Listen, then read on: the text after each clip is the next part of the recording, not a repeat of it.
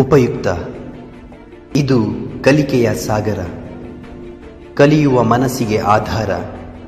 ಕಲಿಯುತ್ತ ನಲಿಯುವ ತಾಯಿ ನುಡಿಯ ಎಂಬಂತೆ ಎಲ್ಲ ಕುಲಕೋಟಿ ಕನ್ನಡಿಗರ ಪಾದಾರವಿಂದಕ್ಕೆ ಶರಣಾಗಿ ಕನ್ನಡ ಭಾಷೆಯನ್ನು ಕಲಿಯುವ ವಿದ್ಯಾರ್ಥಿಗಳಿಗೆ ಹಾಗೂ ಶಿಕ್ಷಕರಿಗೆ ಉಪಯೋಗವಾಗಲೆಂದು ಸಿದ್ಧಪಡಿಸಿರುವ ಒಂದು ಮಾಧ್ಯಮವೇ ಈ ಉಪಯುಕ್ತ.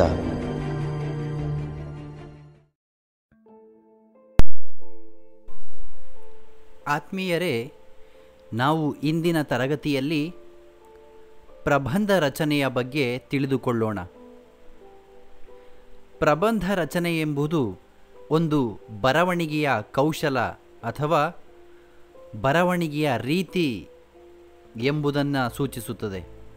ಆದ್ದರಿಂದ ಇಂದು ನಾವು ವಿದ್ಯಾರ್ಥಿಗಳಾದ ನಾವು ಪ್ರಬಂಧವನ್ನು ಹೇಗೆ ರಚಿಸುವುದು ಹೇಗೆ ಬರೆಯುವುದು ಎಂಬುದನ್ನು ತಿಳಿದುಕೊಳ್ಳೋಣ.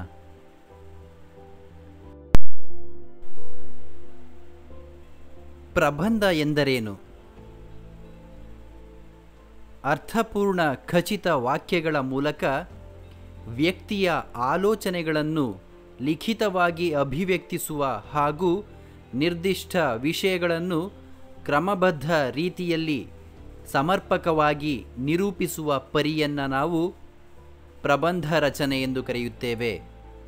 ಅಂದರೆ, ನಾವು ಬರೆಯುವಂತಹ ವಾಕ್ಯಗಳು ಅರ್ಥಪೂರ್ಣವಾಗಿದ್ದು ವಿಷಯ ಗರ್ಭಿತವಾಗಿದ್ದು ಅದು ಕ್ರಮಬದ್ಧ ರೀತಿಯಲ್ಲಿ ವಿಭಾಗಿಸಲ್ಪಟ್ಟಿದ್ದರೆ, ಬರೆಯಲ್ಪಟ್ಟಿದ್ದರೆ ಅಥವಾ ಲಿಖಿತವಾಗಿ ಅಭಿವ್ಯಕ್ತಿಸಲ್ಪಟ್ಟಿದ್ದರೆ, ಅದನ್ನು ನಾವು ಪ್ರಬಂಧ ರಚನೆ ಅಥವಾ ಪ್ರಬಂಧ ಎಂದು ಕರೆಯುತ್ತೇವೆ.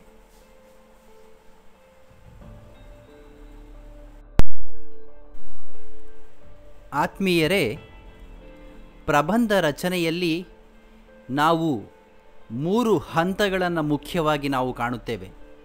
ನಾವು ಬರೆಯಬೇಕಾದರೆ ಯಾವುದಾದರೂ ಒಂದು ವಿಷಯವನ್ನು ಕುರಿತು ಪ್ರಬಂಧವನ್ನು ರಚನೆ ಮಾಡಬೇಕಾದರೆ ನಾವು ಮೂರು ಹಂತಗಳನ್ನು ನಾವು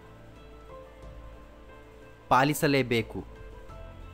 ಆ ಮೂರು ಹಂತಗಳೆಂದರೆ ಮೊದಲನೆಯದು ಪ್ರಸ್ತಾವನೆ ಅಥವಾ ಪೀಠಿಕೆ. ಎರಡನೆಯ ಹಂತ ವಿಷಯ ನಿರೂಪಣೆ. ಮೂರನೆಯ ಹಂತ ವಿಷಯದ ಸಮಾಪ್ತಿ ಅಥವಾ ಉಪಸಂಹಾರ.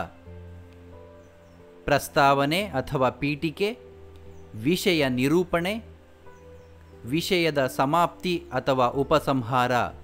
ಈ ಮೂರು ಹಂತಗಳು ಪ್ರಬಂಧ ರಚನೆಯ ಮುಖ್ಯ ಭಾಗಗಳಾಗಿವೆ. ನಾವು ಬರೆಯುವ ಬರವಣಿಗೆ ಈ ಮೂರು ಹಂತಗಳನ್ನು ಕೂಡ ಒಳಗೊಂಡಿರುತ್ತದೆ. ಒಳಗೊಂಡಿರಲೇ ಬೇಕಾಗಿರುತ್ತದೆ. ಇದು ಪ್ರಬಂಧ ರಚನೆಯ ಹಂತಗಳು. ಈಗ ನಾವು ಪ್ರಬಂಧ ರಚನೆಯ ಹಂತಗಳಾದಂತಹ ಪ್ರಸ್ತಾವನೆ, ಪೀಠಿಕೆ, ವಿಷಯ ನಿರೂಪಣೆ, ವಿಷಯದ ಸಮಾಪ್ತಿ ಅಥವಾ ಉಪಸಂಹಾರಗಳ ಬಗೆಗೆ ಇನ್ನಷ್ಟು ತಿಳಿದುಕೊಳ್ಳೋಣ.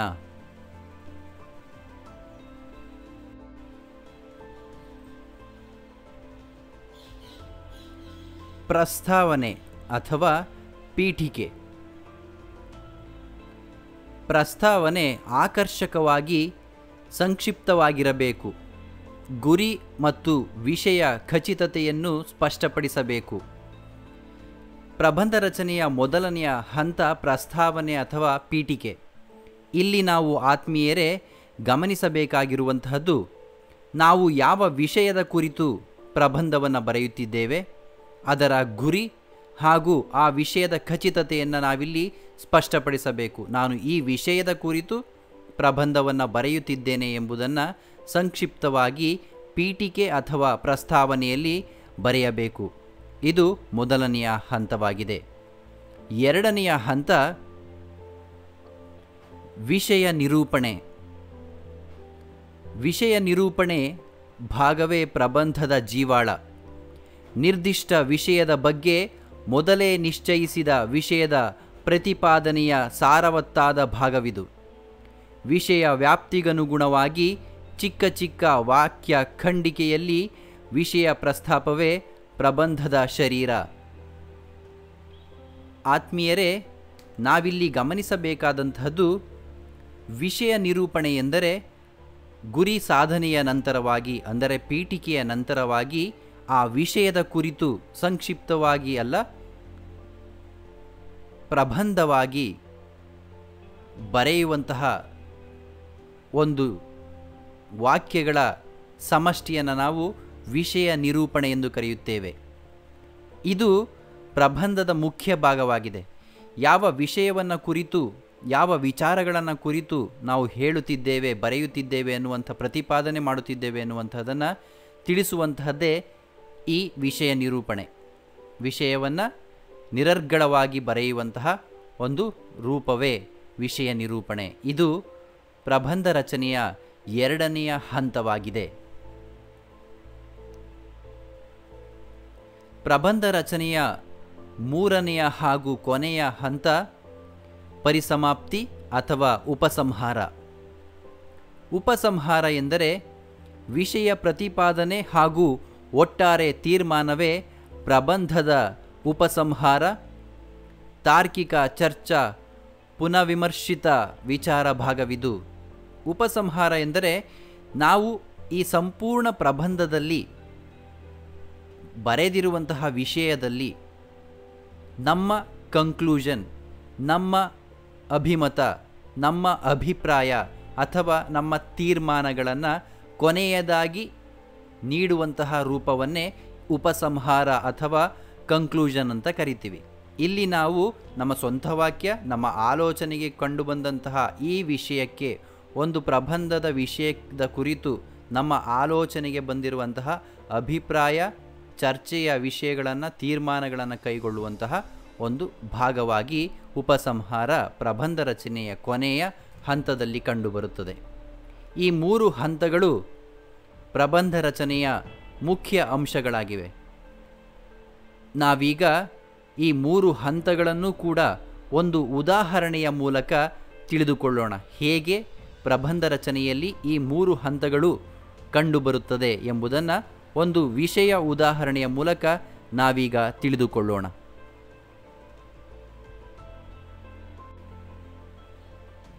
ಆತ್ಮೀಯರೇ, ನಾನಿಲ್ಲಿ ಪ್ರಬಂಧ ರಚನೆಗೆ ಉದಾಹರಣೆಯಾಗಿ ಪರಿಸರ ಮಾಲಿನ್ಯ ಅನ್ನುವಂತಹ ವಿಷಯವನ್ನು ತೆಗೆದುಕೊಂಡಿದ್ದೇನೆ. ನೀವಿಲ್ಲಿ ಗಮನವಿಟ್ಟು ಕೇಳ್ಕೋಬೇಕು, ಹಾಗೆ ಗಮನಿಸಬೇಕು. ಪ್ರಬಂಧದ ಮೂರು ಹಂತಗಳನ್ನು ಈ ಪರಿಸರ ಮಾಲಿನ್ಯ ವಿಷಯದ ಕುರಿತಾಗಿ, ವಿಷಯದ ಮೂಲಕವೇ ಆ ಮೂರು ಹಂತಗಳನ್ನು ಉದಾಹರಣೆಯ ಸಹಿತ ಪರಿಚಯಿಸುತ್ತೇನೆ. ಮೊದಲನೆಯ ಹಂತ ಪ್ರಬಂಧ ರಚನೆಯಲ್ಲಿ ನಾವೀಗಾಗಲೇ ತಿಳಿದಿದ್ದೇವೆ, ಪ್ರಸ್ತಾವನೆ ಅಥವಾ ಪೀಠಿಕೆಯ ಹಂತ. ಈ ಪರಿಸರ ಮಾಲಿನ್ಯ ವಿಷಯವನ್ನು ನಾನು ತೆಗೆದುಕೊಂಡಾಗ ಪ್ರಬಂಧ ರಚನೆಯಲ್ಲಿ ಮೊದಲಿಗೆ ಪ್ರಸ್ತಾವನೆಯನ್ನು ನಾವು ಬರಿಬೇಕು. ಅಲ್ಲಿ ಕಂಡುಬರುವಂತಹ ವಿಷಯವೇನೆಂದರೆ ನಾವು ಏನನ್ನು ಪ್ರಸ್ತಾವನೆಯಾಗಿ ಸಂಕ್ಷಿಪ್ತವಾಗಿ ಬರಿಬೇಕು ಅಂದರೆ ಮೊದಲು ಪರಿಸರ ಎಂದರೇನು ಎಂಬ ವ್ಯಾಖ್ಯಾನವನ್ನು ಬರಿತೀವಿ. ನಂತರದಲ್ಲಿ ಪರಿಸರ ಮಾಲಿನ್ಯ ಎಂದರೇನು ಎನ್ನುವಂತಹ ವ್ಯಾಖ್ಯಾನವನ್ನು ಸಂಕ್ಷಿಪ್ತವಾಗಿ ಪೀಠಿಕೆಯಲ್ಲಿ ಬರೆಯುತ್ತೇವೆ. ಇದು ಪ್ರಸ್ತಾವನೆ ಅಥವಾ ಪೀಠಿಕೆ ವಿಭಾಗದಲ್ಲಿ ಕಂಡುಬರುವಂತಹ ಪರಿಸರ ಮಾಲಿನ್ಯದ ಒಂದು ವಿಷಯ ಸಾಂದ್ರಿಕೆ. ಇದನ್ನು ನಾವು ಗಮನದಲ್ಲಿಟ್ಕೋಬೇಕು. ಈಗ ಒಂದು ವಿಷಯವನ್ನು ಕೊಟ್ಟಾಗ ಆ ವಿಷಯದ ಕುರಿತು ನಾವು ವ್ಯಾಖ್ಯಾನವಾಗಿರಬಹುದು. ಆ ವಿಷಯ ಎಂದರೇನು ಅನ್ನುವಂಥದ್ದನ್ನು ತಿಳಿಸುವಂತಹದ್ದೇ ಪೀಠಿಕೆಯಾಗಿರುತ್ತೆ. ಇಲ್ಲಿ ನಾನು ಪರಿಸರ ಮಾಲಿನ್ಯ ಅನ್ನುವಂತಹ ವಿಷಯ ತೆಗೆದುಕೊಂಡಾಗ ಮೊದಲಿಗೆ ನಾನು ಪರಿಸರ ಎಂದರೇನು ಎನ್ನುವಂತಹ ವಿಷಯವನ್ನು ತಿಳಿಸ್ತೀನಿ. ನಂತರದಲ್ಲಿ ಪರಿಸರಕ್ಕೆ ಆಗಿರುವಂತಹ ಮಾಲಿನ್ಯ. ಆ ಪರಿಸರ ಮಾಲಿನ್ಯ ಎಂದರೇನು ಅನ್ನುವಂತಹ ವಿಷಯವನ್ನು ನಾನಿಲ್ಲಿ ತಿಳಿಸ್ತೀನಿ. ಇದು ಪೀಠಿಕೆಯ ವಿಭಾಗ ಮುಗೀತು. ಎರಡನೆಯದಾಗಿ ನಾನು ವಿಷಯ ನಿರೂಪಣೆಗೆ ಬರ್ತೀನಿ.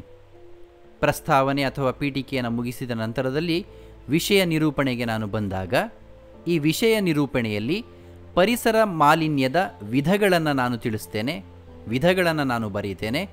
ಹಾಗೆಯೇ ಪರಿಸರ ಮಾಲಿನ್ಯಕ್ಕೆ ಕಾರಣವಾದಂತಹ ಅಂಶಗಳನ್ನು ಬರೀತೇನೆ. ಆ ವಿಷಯದ ಕುರಿತು ಹಾಗೂ ಪರಿಸರ ಮಾಲಿನ್ಯದಿಂದ ಆಗುವಂತಹ ಪರಿಣಾಮಗಳನ್ನು ಈ ವಿಷಯ ನಿರೂಪಣೆಯಲ್ಲಿ ಸವಿವರವಾಗಿ ಏನು ಮಾಡ್ತೇನೆ, ಬರೆಯುತ್ತೇನೆ. ಇದು ವಿಷಯ ನಿರೂಪಣೆ. ಪರಿಸರ ಮಾಲಿನ್ಯ ಪರಿಸರ ಮಾಲಿನ್ಯದ ಕುರಿತು ವಿವಿಧ ಹಂತಗಳಲ್ಲಿ ಅದರ ವಿಧಗಳು, ಅದರ ಕಾರಣಗಳು ಹಾಗೂ ಪರಿಣಾಮಗಳನ್ನು ಬರೆಯುವಂತಹ ಒಂದು ವಿಭಾಗವೇ ವಿಷಯ ನಿರೂಪಣೆ. ಇಲ್ಲಿ ನಾವು ಎಲ್ಲ ವಿಷಯಾಂಶಗಳನ್ನು ಬರೆದು ತಿಳಿಸುತ್ತೇವೆ. ಕೊನೆಯದಾಗಿ, ಉಪಸಂಹಾರದಲ್ಲಿ, ಪರಿಸಮಾಪ್ತಿಯಲ್ಲಿ ನಾವು ಪರಿಸರ ಸಂರಕ್ಷಣೆಯ ಕ್ರಮಗಳು ಹಾಗೂ ನಮ್ಮ ಜವಾಬ್ದಾರಿಗಳು. ಈ ವಿಷಯದ ಕುರಿತು ಚಿಕ್ಕದಾಗಿ ಚೊಕ್ಕದಾಗಿ ಬರವಣಿಗೆಯನ್ನು ಮುಕ್ತಾಯಗೊಳಿಸ್ತೇನೆ. ಪರಿಸರ ಮಾಲಿನ್ಯ ಎಂದರೇನು ಅನ್ನುವಂಥದ್ದನ್ನು ಪ್ರಸ್ತಾವನೆಯಲ್ಲಿ ತಿಳಿಸಿ, ಪರಿಸರ ಮಾಲಿನ್ಯದ ವಿಧಗಳು ಕಾರಣ ಪರಿಣಾಮಗಳನ್ನು ವಿಷಯ ನಿರೂಪಣೆಯಲ್ಲಿ ತಿಳಿಸ್ತೇನೆ. ಉಪಸಂಹಾರದಲ್ಲಿ ಮೂರನೆಯ ಹಾಗೂ ಕೊನೆಯ ಭಾಗದಲ್ಲಿ ನಾನು ಪರಿಸರ ಸಂರಕ್ಷಣೆಗೆ ಬೇಕಾದಂತಹ ಕ್ರಮಗಳು ಹಾಗೂ ನಮ್ಮೆಲ್ಲರ ಜವಾಬ್ದಾರಿ ಏನು ಅನ್ನುವಂಥದ್ದನ್ನು ನನ್ನ ಸ್ವಂತ ವಾಕ್ಯಗಳಲ್ಲಿ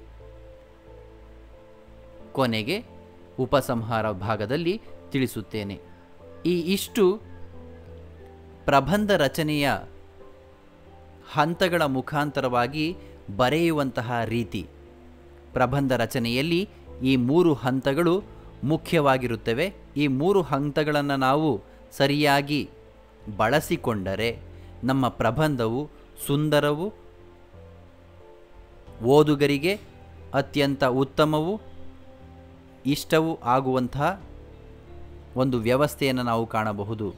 ಪ್ರಬಂಧ ರಚನೆ ಪರೀಕ್ಷೆಗೆ ಅತ್ಯಂತ ಮುಖ್ಯವಾದಂತಹದ್ದು. ನಾವಿಲ್ಲಿ ಪರೀಕ್ಷೆಗೆ ಎಷ್ಟು ಬೇಕೋ, ಯಾವ ವಿಷಯವನ್ನು ಎಷ್ಟನ್ನು ತಿಳಿಸ್ಬೇಕೋ ಅಷ್ಟನ್ನು ನಾವು ತಿಳಿಸಿದರೆ ಪ್ರಬಂಧ ರಚನೆಯಲ್ಲಿ ಒಳ್ಳೆಯ ಅಂಕಗಳನ್ನು ನಾವು ಗಳಿಸಬಹುದು. ಭಾಷಾ ವಿದ್ಯಾರ್ಥಿಗಳಾದಂತಹ ನಾವು ಭಾಷಾ ವಿದ್ಯಾರ್ಥಿಗಳು ಪರೀಕ್ಷೆಯನ್ನು ಬರಿಬೇಕಾದರೆ, ಕನ್ನಡವನ್ನು ಪರೀಕ್ಷೆಯನ್ನು ಬರಿಬೇಕಾದರೆ ಸಮಯ ಸಾಲೋದಿಲ್ಲ ಅನ್ನುವಂತಹ ಒಂದು ಮಾತು ಕಂಡುಬರುತ್ತೆ. ಕಾರಣ ಏನು ಅಂತ ಹೇಳಿದ್ರೆ, ನಾವಿಲ್ಲಿ ಪ್ರಬಂಧ ರಚನೆಯಲ್ಲಿ ಸರಿಯಾದಂತಹ ಹಂತಗಳನ್ನು ನಾವೇನು ಮಾಡೋದಿಲ್ಲ ಫಾಲೋ ಮಾಡೋದಿಲ್ಲ. ಗೊತ್ತಿದೆ ನನಗೆ ವಿಷಯಾಂಶ ಅಂತ ಹೇಳಿ, ಇರೋ ಬರುವಂತಹ ವಿಷಯಾಂಶಗಳನ್ನೆಲ್ಲ ಒಂದು ಪುಟ, ಎರಡು ಪುಟ, ಮೂರು ಪುಟಗಳಷ್ಟು ವಿಷಯಾಂಶವನ್ನು ಬರಿತೀವಿ. ಅದರ ವ್ಯವಸ್ಥೆ ಬೇಡ. ಈ ಮೂರು ಹಂತಗಳನ್ನು ಕ್ರಮವಾಗಿ ಫಾಲೋ ಮಾಡಿ ಬರೆದ್ರೆ ಉತ್ತಮ ಅಂಕವನ್ನು ಗಳಿಸಬಹುದು, ಉತ್ತಮ ಪ್ರಧ, ಪ್ರಬಂಧವನ್ನು ಕೂಡ ನಾವು ಬರಿಬಹುದು. ಇದು ಪರಿಸರ ಮಾಲಿನ್ಯ ಉದಾಹರಣೆಯ ಮೂಲಕ ಪ್ರಬಂಧದ ಹಂತಗಳನ್ನು ವಿವರಿಸಲಾಗಿದೆ.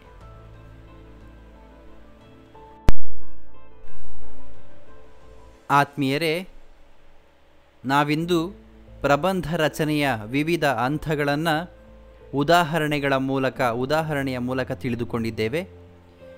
ನಿಮ್ಮ ನೆನಪಿನಲ್ಲಿ ಇರಬೇಕಾದಂತಹ ಮುಖ್ಯ ಅಂಶಗಳು ಪ್ರಬಂಧ ರಚನೆಯಲ್ಲಿ. ಮೊದಲನೆಯದು ಪೀಠಿಕೆ ಅಥವಾ ಪ್ರಸ್ತಾವನೆ, ಎರಡನೆಯದು ವಿಷಯ ನಿರೂಪಣೆ, ಹಾಗೂ ಕೊನೆಯದಾಗಿ ವಿಷಯದ ಸಮಾಪ್ತಿ ಅಥವಾ ಉಪಸಂಹಾರ.